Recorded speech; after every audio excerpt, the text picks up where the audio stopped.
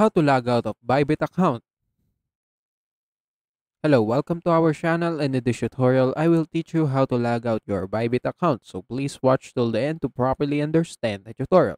And if you guys are wondering, you can download Bybit on Google Play Store and App Store or you can visit their website using the link down there in the video description below. So without further ado, let's get started. So as you can see, apparently there are no option to log out your account on Bybit. So the only way to do that is by, you know, uh, clearing your Bybit data from your app settings. So I'm going to go to my app settings right here.